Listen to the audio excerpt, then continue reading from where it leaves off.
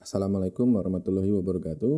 Dalam video ini, kami akan memberikan cara membuat video pembelajaran sederhana yang Bapak Ibu bisa lakukan di rumah masing-masing dan dengan menggunakan perangkat seperti laptop dan komputer. Tapi sebelum itu Bapak Ibu harus menyiapkan materi terlebih dahulu. Nah materi Bapak Ibu bisa menyiapkan dalam bentuk PowerPoint, kemudian Word, PDF, dan lain-lain. Selanjutnya kita install dulu softwarenya. Di sini softwarenya kita menggunakan uh, Bandicam. Jadi Bapak Ibu jika sudah pernah menggunakan Bandicam atau sudah pernah menginstal Bandicam itu tidak perlu lagi download dan install. Karena cara merekam Zoom, Google Meet, dan cara membuat video pembelajaran itu menggunakan software yang sama yaitu Bandicam. Nah cara downloadnya nanti silakan Bapak Ibu cari di Google uh, dengan kata kunci Bandicam, kemudian kita klik di sini linknya. Kemudian kita download. Setelah selesai download, selanjutnya software Bandicamnya kita install. Klik dua kali di software Bandicamnya. Kemudian kita pilih yes. Kita pilih OK saja. Kemudian kita pilih continue kita pilih agree. Di next saja. Oke kita pilih install dan proses install dan proses install sedang berlangsung. Sudah selesai menginstal kita klik finish. Dan software Bandicam akan sudah berjalan otomatis ini adalah tampilan awal dari software Bandicam-nya. Bapak Ibu. Kemudian kita pilih di sini yang pertama kita setting adalah kita pilih full screen. Karena kita mau menangkap semua layar yang ada di sini. Semua tampilan PowerPoint-nya akan rekam. Kemudian kita nyalakan webcam. Nah, jadi Bapak Ibu jika menggunakan laptop itu sudah ada webcamnya ya semuanya. Jadi tinggal kita klik saja di sini webcamnya. Kemudian kita centang di sini webcam, add webcam. Oke. Nah nanti tampilan webcam itu ada di sebelah kanan bawah ya Bapak Ibu. Kita oke kan saja. Kalau sudah selesai kita pilih webcam, kita tinggal klik record. Nah di sini ada apa ya Bapak Ibu tampilan webcamnya sudah muncul di sini jadi kita tinggal jelasin saja. Kita tutup saja dulu uh, bandicamnya sekarang kita fokus ke powerpointnya. Jadi ini tinggal kita next nextkan saja powerpointnya Bapak Ibu. Kita add 5 kita perbesar. Kemudian kita menjelaskan Bapak Ibu bisa menjelaskan seperti ini dengan menghadap muka ke webcam laptop Bapak Ibu. Ya, jadi tinggal ngomong saja, jelasin. Uh, berikut ini adalah contohnya seperti ini Bapak Ibu, seperti saya ngomong ini. Kemudian kalau mau next kan uh, PowerPoint-nya tinggal klik next. Dan ini nanti otomatis sudah terekam. Nah, nanti videonya seperti ini Bapak Ibu. Nanti Bapak Ibu ada di sebelah kanan, Kemudian uh, ini materinya. Jadi Bapak Ibu tinggal ngomong saja. Ya. Ini suara saya tidak aktif karena saya sedang memang merekam untuk membuat tutorial untuk Bapak Ibu. Jadi suara saya tidak kedengaran di sini. Oke, ini contoh videonya Bapak Ibu ya. Selanjutnya kita langsung upload ya Bapak Ibu. Jadi videonya kita upload ke YouTube di sini kita jadi tadi awalnya bertampilannya seperti ini ya Bapak Ibu ya. Kita pilih tab video ini di sebelah kanan. Kanan dari sini. Tab video. Kemudian ini videonya kita klik ya. Kemudian kita upload ke YouTube. Kemudian judulnya bisa dirubah Bapak Ibu di sini title-nya kita rubah menjadi materi uh, mata kuliah materi komputer uh, interaksi manusia dan komputer pertemuan satu misalnya. Oke. Ini juga bisa dihapus Bapak Ibu. Oke. Seperti ini juga bisa atau mau ditambahkan nama dosen juga boleh Bapak Ibu. Dosen misalnya Heri Kurniawan Skom Oke, seperti ini. Ini biar saja uh, settingannya seperti ini biar saja. Kemudian kita pilih upload. Oke, nah di sini Bapak Ibu jika sudah punya YouTube, berarti silakan gunakan YouTube masing-masing.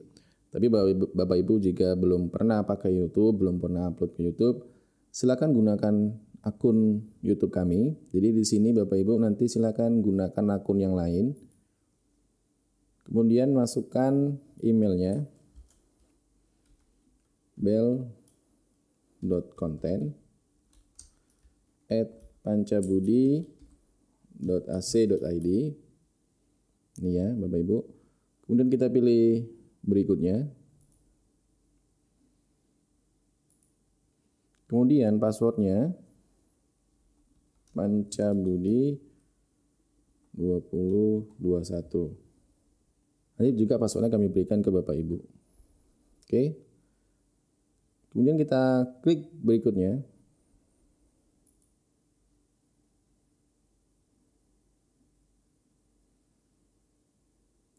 Kemudian di sini kita klik izinkan. Oke. Nah, proses tadi itu hanya sekali saja ya Bapak Ibu. Untuk pertama kali ketika kita login dan upload video pertama. Untuk video kedua, ketiga itu tidak ada lagi proses login, tidak ada lagi proses izinkan seperti yang tadi. Jadi dia langsung ya upload ke YouTube dan prosesnya nanti seperti ini Bapak Ibu. Ini proses ngupload dan sudah selesai ya. Video yang tadi sudah selesai kita upload. Di sini statusnya sudah komplit. Ini linknya. Linknya bisa Bapak Ibu copy aja ya. Linknya copy, Ctrl C atau di klik kanan copy juga bisa. Kemudian kalau kita mau melihat videonya di YouTube, silakan klik go dan ini videonya sudah terupload di YouTube ya Bapak Ibu. Tampilan nanti seperti ini ya. Bapak Ibu bisa langsung screenshot atau bisa foto eh, layar laptopnya seperti ini dalam posisi seperti ini. Kemudian copy file kemudian copy juga linknya tadi sudah di copy ya. Kemudian kita login ke e-learning ya dan di learning kita buat di sini misalnya pertemuan pertemuan satu ya pertemuan pertama dan di pertemuan pertama ya kita kita add di sini kita tambah activity-nya kita tambah resource ya kita ke bawah di menu resource kita tambah URL di sini ya. Dan kita klik add kita kita buat name-nya di sini uh, materi video pertemuan pertama. Dan kita copy linknya di sini link video tadi. Kita copy di sini ya. Di eksternal URL ini kita copy. Dan langsung saja kita simpan. Nah, oke. Okay. Materi video Bapak Ibu sudah ada di e-learning ya. Sampai di sini kita sudah berhasil menambahkan materi di e-learning. Ini cara yang pertama ya Bapak Ibu. Cara yang pertama untuk menambahkan link. Kemudian ada cara yang berikutnya, cara yang kedua yang lebih bagusnya lagi, tetap kita pilih di sini ada add activity ya. Kemudian kita pilih resource. Kemudian kita pilih label. Kemudian kita add. Oke. Kita buat saja di sini materi video misalnya. Kemudian kita blok seperti ini, materi video ini. Kemudian kita klik link di sini, ini tanda link ya Bapak Ibu. Kita klik link di sini. Kemudian kita pastekan link yang dari YouTube tadi, materi kita. Seperti ini. Kemudian kita create link. Oke, sudah selesai. Cuman ini saja yang diisi ya Bapak Ibu. Kemudian kita save and return to course. Dan kalau cara yang kedua, itu videonya bisa langsung di play oleh mahasiswa nanti di e-learning langsung seperti ini. Kalau cara yang pertama itu nanti kita akan lari ke YouTube atau ke, buka di YouTube. Sedangkan yang cara kedua uh, nanti videonya bisa langsung diputar di e-learning seperti ini. Jadi Bapak Ibu tinggal pilih saja yang mana yang mudah. Tapi kami mengharapkan nanti Bapak Ibu bisa mengupload yang seperti ini. Kemudian syarat Bapak Ibu mengajar selain memasukkan link ke e-learning adalah membuat forum diskusi. Saya kira Bapak Ibu sudah pada tahu lah ya. Kita buat forum diskusi.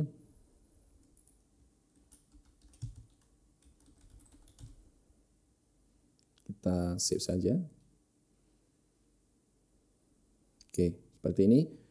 Kalau sudah seperti ini, Bapak Ibu sudah boleh di foto ya atau di screenshot ya tampilan pertemuan satunya saja Bapak Ibu seperti ini yang ininya saja. Boleh difoto, boleh di screenshot. Setelah itu kita ke portal dosen.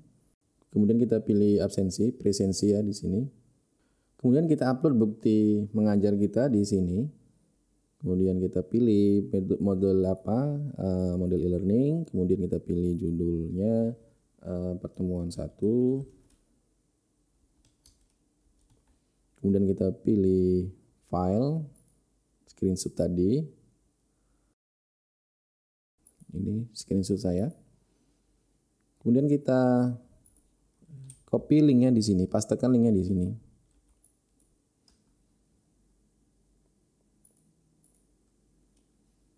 Ini Bapak Ibu linknya kita copy lagi.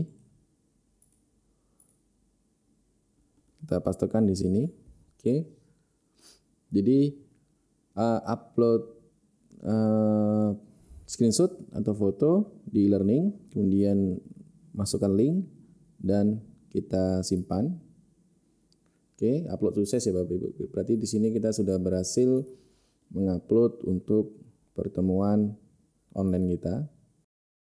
Baik itulah Bapak Ibu cara membuat video pembelajaran yang sederhana dan yang bisa Bapak Ibu lakukan di rumah masing-masing. Dan Bapak Ibu Cukup sekian video ini, semoga bermanfaat. Assalamualaikum warahmatullahi wabarakatuh.